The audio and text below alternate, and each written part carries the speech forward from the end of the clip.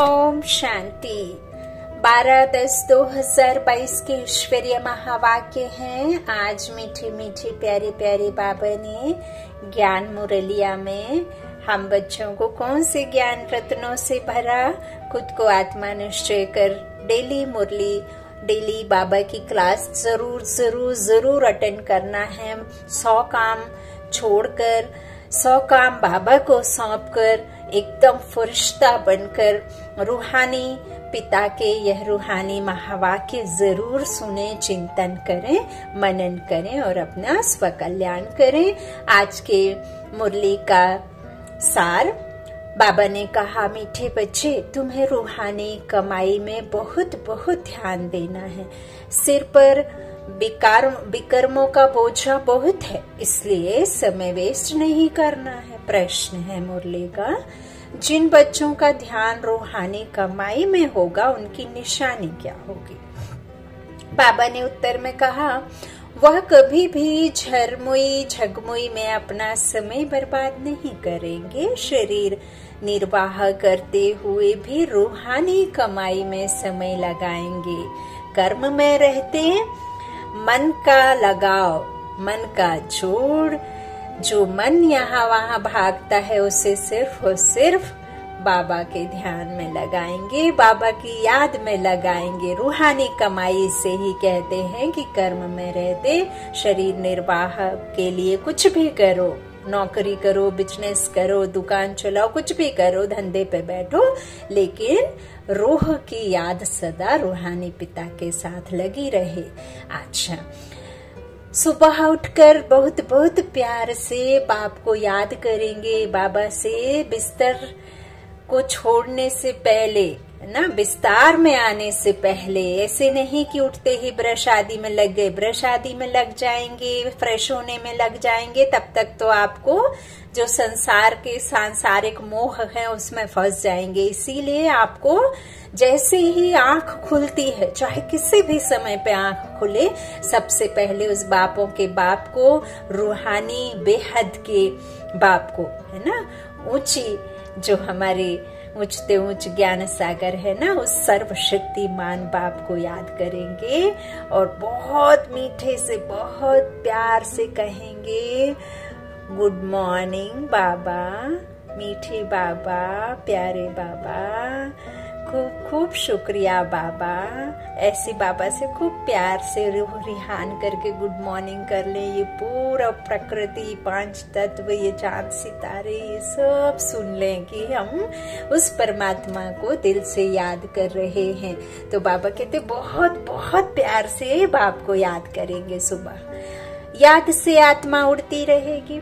दूसरा वह बाप समान रहम दिल बन अपने ऊपर और सर्व के ऊपर रहम करेंगे, सबको बाप का परिचय देंगे। गीत है, तुम ही हो माता पिता, तुम ही हो, तुम ही हो बंधु सखा, तुम ही हो, तुम ही हो माता पिता, तुम ही हो, तुम ही हो बंधु सखा तुम ही हो। ओम शांति। बच्चों ने गीत में माता पिता की महिमा सुनी। जैसे कोई घर में बच्चे रहते हैं तो माता पिता दादा होता है ना? दादे से वर्षा मिलता है बाप द्वारा। क्योंकि दादे की मिल्कियत, बड़ों की मिल्कियत होती है तो यह भी सबसे बड़ा है। दुनिया वालों को तो पता नहीं है। पता ही नहीं। बच्चों को पता है। तुम ही हो माता, पिता तुम ही हो। तो यह दादी के लिए शब्द है। तो उनका परिचय देना पड़े, चाहे सम्मुख हो, चाहे चित्रों द्वारा हो। अब यहाँ दादा किसको कहा है? बाप का, जो दादे का वर्षा बाप के द्वारा मिलता है तो ब्रह्मा माँ हो गई। ब्रह्मा को क्या किया है? दादा ने अडॉप्ट किया है। बाप दादा इकट्ठे है ना? तो बाप के द्वारा दादे का वर्षा हमें मिलता है। बाबा कहते, इस तरह उनका परिचय देना पड़े।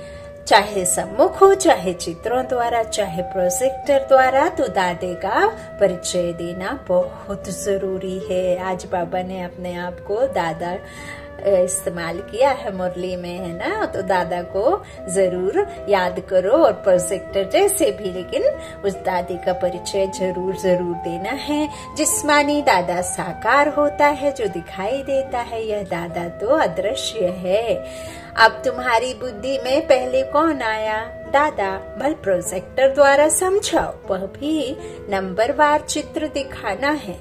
पहले पहले परम पिता परमात्मा की समझानी देनी है। तो परम पिता परमात्मा से तुम्हारा क्या संबंध है? और फिर प्रजापिता ब्रह्मा से क्या संबंध है? तो पहले पहले शिव का चित्र दिखाना चाहिए, फिर है लिखत। जो प्रदर्शनी पर समझाते हैं व मैगजीन भी बनाते हैं तो पहले पहले परिचय देना है। गीता में लिखा हुआ है, भगवान वाच। तो पहले भगवान का परिचय देना चाहिए। तुम सबकी बुद्धि चली गई है ऊपर। जैसे ही हम बाप दादे को याद करते हैं, बुद्धि कहाँ चली जाती है? परम धाम में सबसे ऊँचा है। परम पिता, परमात्मा, निराकार शिव बाबा। शिव अर्थात सर्व कल्याणकारी विश्व पिता सर्व आत्माओं का पिता, परम पिता। फिर ब्रह्मा, विष्णु, शंकर, फिर यहाँ आओ तो जैसे घर में मात पिता और दादा बैठे होते हैं। वह है हद का, यह है बेहद का। चित्र सहित सारी लिखते लिखते होनी चाहिए। फ़र्क भी बताना चाहिए कि अनेक मनुष्य हठ योग सिखाते आए हैं और एक परमात्मा राजयोग सिखाते आए हैं, जिससे मुक्ति, जीवन मुक्ति मिल रही है। यहाँ है, एक, है ही एक निराकार परमपिता, परमात्मा, शिव भगवान वाच की बात। जैसे, लौकिक माँ बाप दादा बच्चों की बुद्धि में याद पड़ते हैं। पढ़ते हैं कि नहीं? हो बहु तुम्हारी बुद्धि में भी ऐसे है। यह सिर्फ़ पारलौकिक है, वह है लौकिक। तुमको निश्चय है कि यह है शिव बाबा। हमारा बाप है तो उनको याद करना चाहिए। परंतु बच्चे भूल जाते हैं टाइम बहुत वेस्ट करते हैं। वेस्ट टाइम नहीं करना चाहिए क्योंकि विकर्मों का बोझा सिर पर बहुत है। कोई एक जन्म का नहीं बाबा ने कई बार कहा कि बच्चे तुम्हें इस एक जन्म का तो छह वर्ष की आयु से लगभग सब कुछ याद है कि, कि आपने कुछ अच्छा बुरा जो भी कर्म विकर्म या किसको दुख दिया या कुछ पाप विकर्म किए तो वह आपको याद है। वो तो आपको सच्चे दिल से मुझे बताना ही है। लेकिन आपको जो जन्म जन्मांतर द्वापर से आपके सर पर पर जो पाप विकर्मों के बोझा है, उनको भी तो हिसाब किताब चुप चुकतू करना होगा।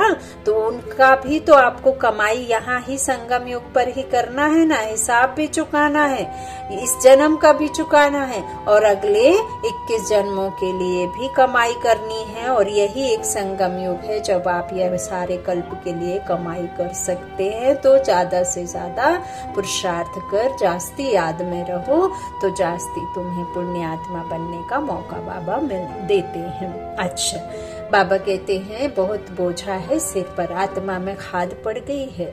तो लिखना चाहिए, परमात्मा कौन है? परमात्मा के चित्र और श्री कृष्ण के चित्र पर घड़ी घड़ी समझाना चाहिए। स्वर्ग और नर्क के गोले बड़े अच्छे मशहूर हैं। आप सभी ने देखा होगा, नहीं देखा होगा तो आप गूगल पर सर्च करिए, अगर सेंटर पर नहीं जा सकते हैं तो। कि स्वर्ग और नर्क के गोले बड़े अच्छे तरीके से उसमें समझाया हुआ है, कृष्ण के चित्र पर समझाया है। आप जब सेवन डेज़ का कोर्स ब्रह्म कुमारी कोर्स का आप डालेंगे ना गूगल में सर्च करेंगे तो पूरे सेवन डेज़ का कोर्स आ जाएगा। उसमें चित्र भी साथ में दिए रहते हैं तो आप उन चित्रों से समझ सकते हैं। बाबा कहते हैं, नरक के गोले पर लिख देना चाहिए कि यह है रावण राज्य, भ्रष्टाचारी दुनिया, और स्वर्ग के गोले पर लिखो कि यह है श्रेष्ठाचारी दुनिया। तो टाइम चढ़ती कला, उतरती कला का भी चित्र है।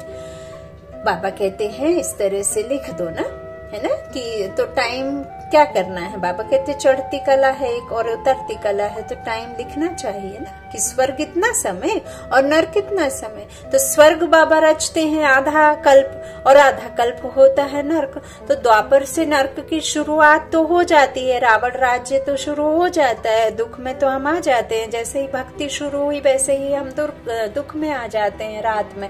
तो बाबा कहते, यह सब उसमें लिखना चाहिए ना कि पच्चीस वर्ष स्वर्ग हम श्रेष्ठ आत्माएँ बन करके सुख भोगती हैं, जो रचता बाप हमें रचना, रचते हैं और फिर हमें उसकी प्रालब्धि, प्राप्ति वहाँ हमें आधे कल्प के लिए मिलती है, इक्कीस जन्म के लिए।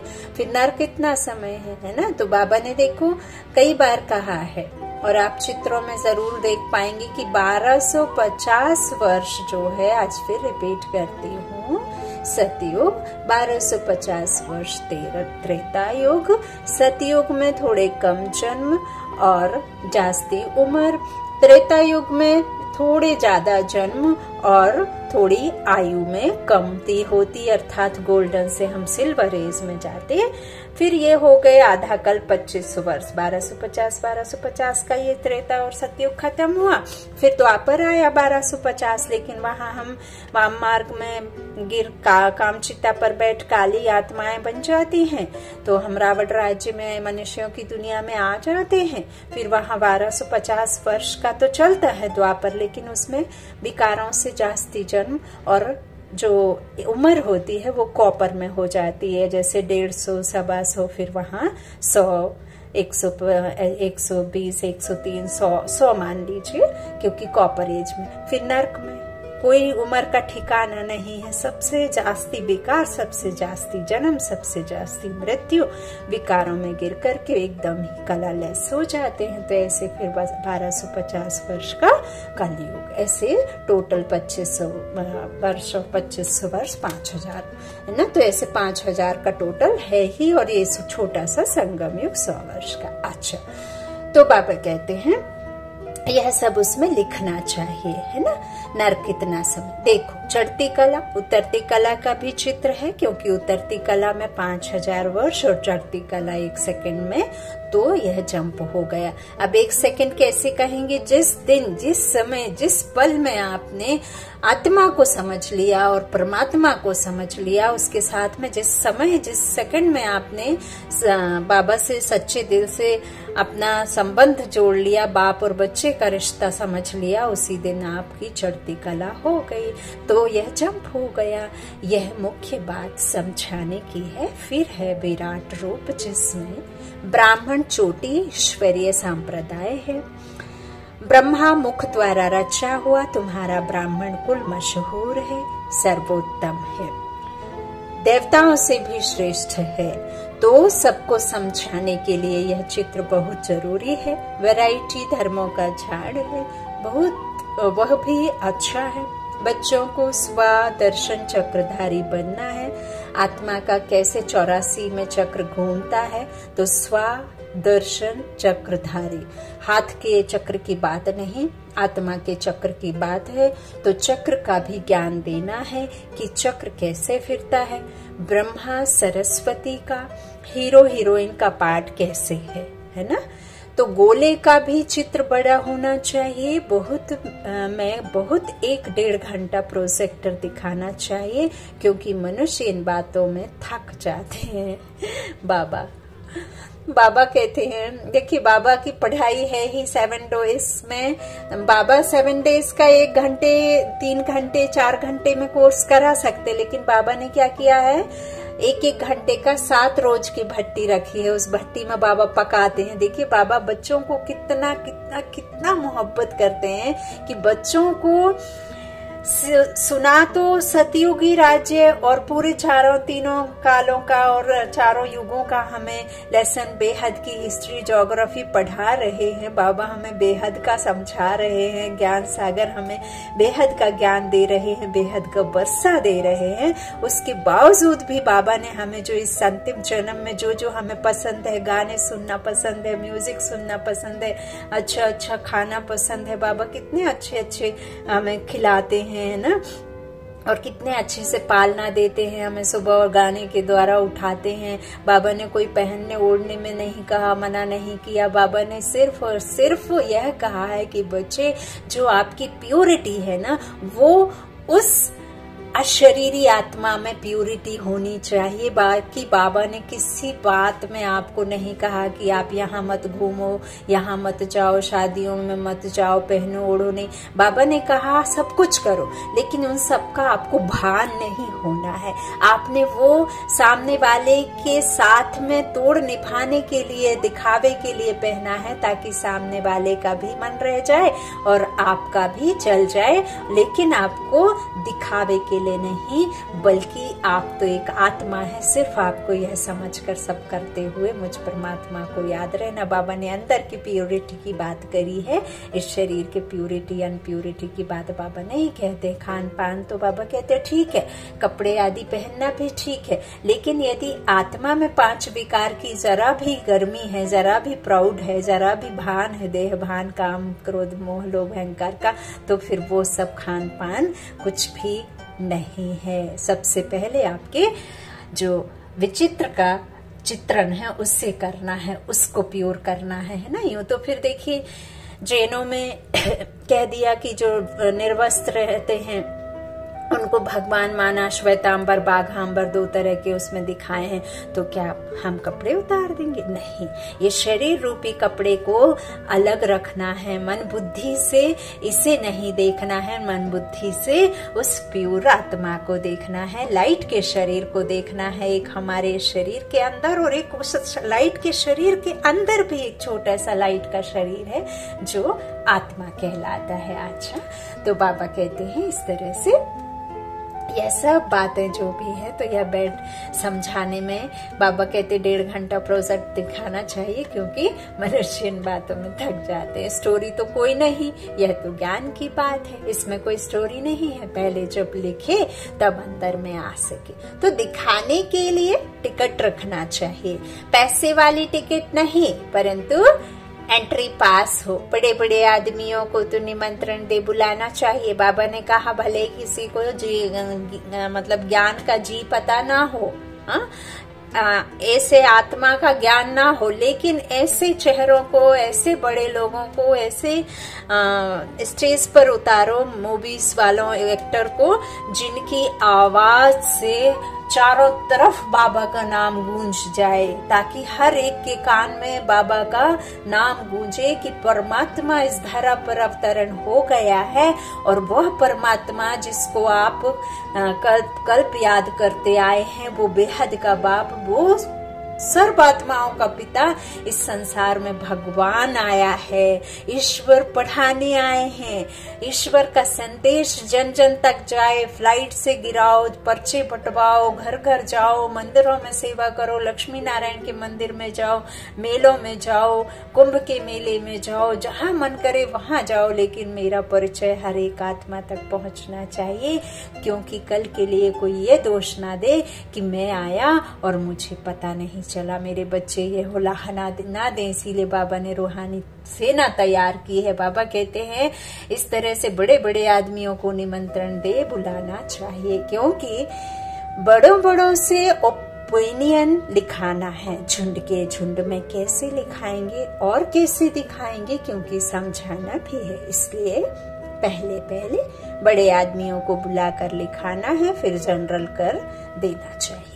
प्रदर्शनी में भी, ऐसे तो प्रोजेक्टर में भी, ऐसे मैगजीन में भी, इन अच्छे अच्छे चित्रों को बनाकर साथ साथ समझाने, लिखो, फिर किसको प्रेजेंट दे देना चाहिए। हठ योग और राजयोग का कंट्रास्ट भी अच्छी तरह लिखना चाहिए। हठ योग में तो कहीं ये आसन बिछाओ, वो आसन बिछाओ। कहीं शारीरिक श्रम करो, कहीं एक के ऊपर एक रखो, कहीं घंटों बैठो, कहीं निर्विकल्प हो, मन में कोई थॉट ना आए। तो यह सब बाबा कहते हठ योग है। बाबा हमें कर्म योगी, सहज योगी, राज योगी, राज ऋषि, ना जाने बाबा ने कितना कितना हमें स्वमान दिए हैं। बाबा ने कहा है, बच्चे जब शरीर लिया है तो कर्म करना ही पड़ेगा। चाहे आप कितने भी क्रिटिकल सिचुएशन में आप बीमार भी हैं, लेकिन आपका मन तो कर्म करता रहेगा, खाट पर पड़े हुए भी आपका मन तो विचारों में भरा रहेगा तो आप निर्विकल्प तो हो ही नहीं सकते, यह सब गपोड़े हैं। राजयोग मैं सिखाता हूँ तो बाबा ने कहा, राजयोग और हठ योग का भी कंट्रास्ट प्रेजेंट करना है, अच्छी तरह लिखना चाहिए। हठ योग भी एक प्रकार की हिंसा है, क्योंकि शरीर को कष्ट देते हैं। और यहाँ, बाबा, मैं आपका कैसे शुक्रिया करूँ, बाबा? निःशब्द हूँ, बाबा। ये एक जन्म तो क्या बाबा? हम जन्म जन्म आपका कर्ज नहीं अदा कर सकते बाबा। इसीलिए कहते हैं, माँ बाप का कर्ज बा, बच्चे कभी उतार नहीं सकते। ये है बेहद का कर्ज बाबा। ओ बाबा, शुक्रिया बाबा, शुक्रिया। ओ बाबा, देखो। बाबा कहते हैं हठ योग भी एक तरह की हिंसा है, क्योंकि शरीर को कष्ट देते हैं, तकलीफ़ देते हैं। तुम्हारा यह है अहिंसक योग जो अति सहज है। ओ बाबा, चलते फिरते बाप को याद करते रहो। हिंसक और अहिंसक को भी सिद्ध करना है। कई तो शरीर की तंदुरुस्ती के लिए क्रिया करते हैं करते हैं तो वह कोई फिर परमात्मा से नहीं मिलते, हठ योग को भी योग कह देते हैं। योगाश्रम है ना? यह है फिर सहज राजयोग। ईश्वर का सिखाया हुआ योग तो यह बहुत अच्छी तरह से समझाना चाहिए। बाबा कहते योग शब्द भी निकाल देना चाहिए, क्योंकि याद शब्द बहुत अच्छा है, और बुद्धि मन बुद्धि से याद करना है। और आ, क्या करना है? मन को कहाँ ले जाना है? मन बुद्धि के विमान में बिठा करके उस रूहानी पिता के पास। तो जिनका बुद्धि योग सारा दिन झरमुई झगमुई में होगा वह क्या समझा सकेंगे? जिनकी बुद्धि में होगा कि सर्विस करनी है वह करेंगे। आठ घंटा धंधा किया फिर यह कमाई करनी चाहिए। यह बाबा कहते हैं वह सब तो जिस्मानी कमाई है यह है रूहानी कमाई। तो यह कमाई में बहुत ध्यान देना चाहिए। योग में बहुत प्रैक्टिस करनी चाहिए। याद में रहना आसान नहीं है। बहुत प्रैक्टिस चाहिए। सुबह उठ बाप को बड़े प्यार से याद करना चाहिए। जिनको बाप एक दो नंबर में रखते, वह भी याद नहीं करते हैं। भाषण तो बहुत अच्छा कर लेते हैं, परंतु याद में नहीं रहते। आत्मा को याद से ही हाँ बाबा तो कहते हैं कि आत्मा तो याद से ही उड़ेगी, ज्ञान से थोड़े ही उड़ेगी।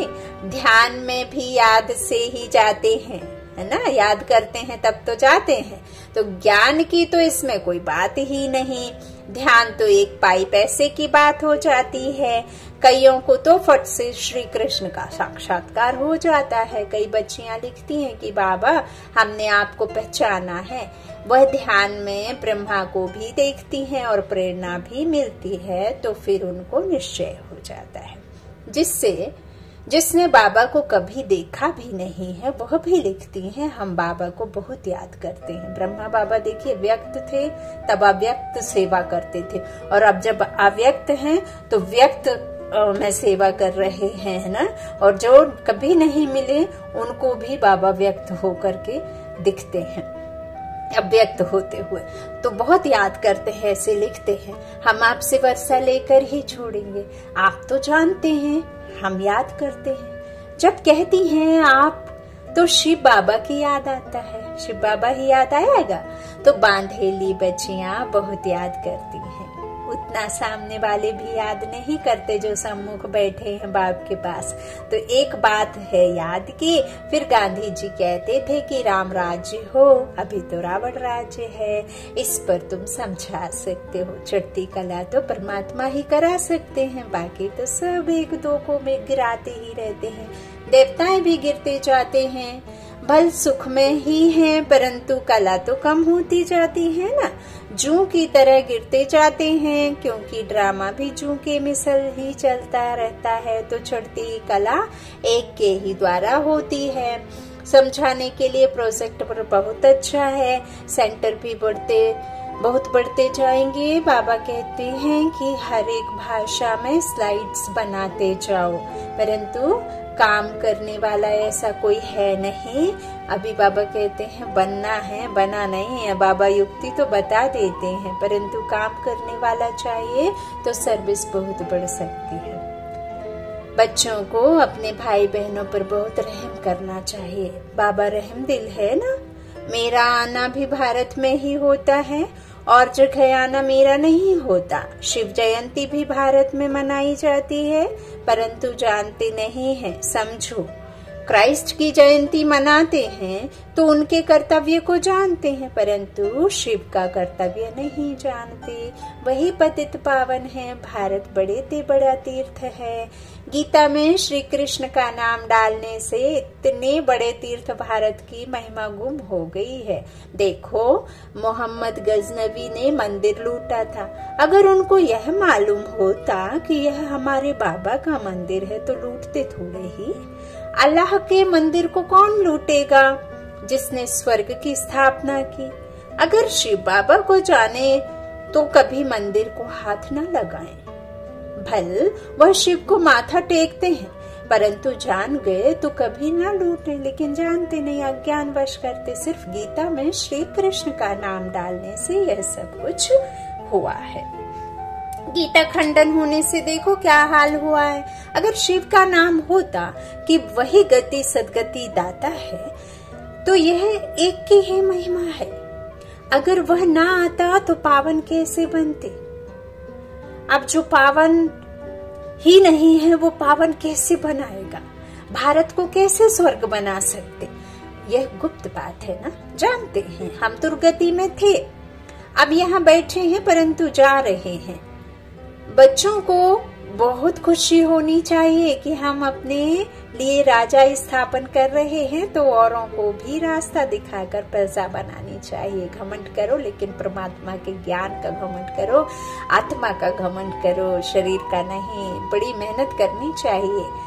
है तो बहुत सहज, सिर्फ़ बाप और वर्षे को याद करो, स्वर्ग को याद करो, यह तो नर्क है। हम का भी बाबा ने समझाया है। हम सो देवता हम सो क्षत्रिय हम सो शूद्र हम सो ब्राह्मण और कोई तो इन सब बातों को समझते नहीं। तो विराट रूप में यह समझाना है कि सो देवता बनते अभी हम स्वर्ग में गए कि गए, बहुत लोग पूछते हैं, कितनी देरी है? बाबा कहते हैं, तुम अब तैयार कहाँ हुए हो? जो स्वर्ग में जा सको। ड्रामा तो बना हुआ है, जितनी जितनी स्थापना होती जा रही है तो विनाश ज्वाला भी धीरे धीरे बढ़ती जा रही है। धर्मों में झगड़ा शुरू होता जा रहा है। पहले पार्टीशन थोड़े ही था। तुम जानते हो, पहले एक देवता धर्म था। गीत है ना? आप मिले तो हम स्वर्ग का राज्य योग बल से ले रहे हैं। बाहुबल से कोई ले नहीं सकता। उनके पास बाहुबल है, रशिया, अमेरिका आपस में मिल जाए तो सारा राज्य ले सकते हैं। परंतु ऐसा होता नहीं है। जब देवताओं का राज्य है तो वहाँ क्रिश्चियन बौद्ध नहीं होते। अब देवता धर्म की स्थापना हो रही है। भारत अविनाशी खंड है। बाप भी यहाँ आए हैं ना। ड्रामा में ऐसे ही है कि योग बल से राजाई मिलती है। भारत का प्राचीन योग मशहूर है। परंतु योग सिखाना, सिखाया किसने और कैसे, वह नहीं जानते। श्री कृष्ण ने तो योग नहीं सिखाया ना, वो तो खुद सीख रहे, उनकी आत्मा तो स्वयं पुरुषार्थी आत्मा बन यहाँ बैठी है। तो परम पिता परमात्मा ही योग सिखला रहे हैं, यह कितनी अटपटी बात है, जो बुद्धि से खिसक जाती है। कई तो जानते भी छोड़ देते हैं तब बाप कहते हैं, समझदार देखना हो तो यहाँ देखो। समझदार वर्षा लेते हैं, बेसमझ छोड़ देते हैं, स्वर्ग का वर्षा गंवा देते हैं। महान मूर्ख, महान सुजान देखना हो तो यहाँ देखो। स्वर्ग में वह भी जाएँगे, परंतु प्रजा में जाएँगे। तुम जानते हो, सूर्यवंशी, चंद्रवंशी प्रजा कैसे बनती है। बाप की गोद कहा यहाँ मिलती है? स्वर्ग में नहीं मिलती बात की गोद। मूल वतन में गोद का हिसाब नहीं है, क्योंकि वहाँ तो शरीर नहीं होता। बच्चा जब पैदा होता है तो गुरु की गोद में देते हैं। समझते हैं गुरु की गोद में नहीं गया तो दुर्गति को पाएगा। छोटे बच्चे को भी गुरु करा देते हैं। गुरु बिगर गति नहीं। अब कौन सा गुरु, कौन सा ज्ञान, ये तो कोई जानता ही नहीं है ना? तो यह गुरुओं ने समझाया है। पता नहीं कब शरीर छूट जाए। वहाँ तो जन्म ले फिर गुरु के पास जाते हैं। यहाँ तीनों का माइंड है। हाँ? ओ बाबा, वाह बाबा, वाह वाह, मेरा भाग्य, वाह वाह, ड्रामा, वाह। यह कोई शास्त्रों में लिखा नहीं है कि वही बाप, टीचर, गुरु की गोद है? बाप ने पूछा, शिव बाबा को बाप है? कहते हैं हाँ। अच्छा शिव बाबा को टीचर है? गुरु है? नहीं, सिर्फ़ माँ बाप मिलते हैं। यह गुहा हिसाब है। बाप बच्चों पर, बच्चे बाप पर बलिहार जाते हैं। लौकिक में बच्चे बाप पर बलिहार नहीं जाते हैं, बाप जाते हैं। तो यह समझने की बात है कि बरोबर परमात्मा बाप, टीचर, सतगुरु है। उनसे ही वर्षा मिलता है। अच्छा मीठे मीठे सिकी लाधे बच्चों प्रति माता पिता बाप, दादा का याद, प्यार और गुड मॉर्निंग रूहानी बाप की रूहानी बच्चों को नमस्ते। हम रूहानी बच्चों की रूहानी माता पिता बाप, दादा को याद, प्यार और गुड मॉर्निंग शुक्रिया बाबा, मीठे बाबा, प्यारे बाबा। सबका साथी, सबका सहारा मेरा बाबा, सबका बाबा। धारणा के लिए मुख्य सार पहला बाबा ने कहा, स्वादर्शन चक्रधारी बनना है। हम ब्राह्मण चोटी हैं, ईश्वरीय संप्रदाय के हैं, इस नशे में रहना है। दूसरा, अपना समय बाप की याद में सफल करना है। रूहानी सर्विस में बिज़ी रहना है। बाप पर पूरा पूरा बलिहार जाना है। आधा अधूरा नहीं, पूरा।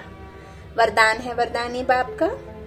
वरदाता ने कहा, एक स्थिति के आसन पर मन बुद्धि को बिठाने वाले सच्चे तपस्वी भव, तपस्वी सदा आसनधारी होते हैं।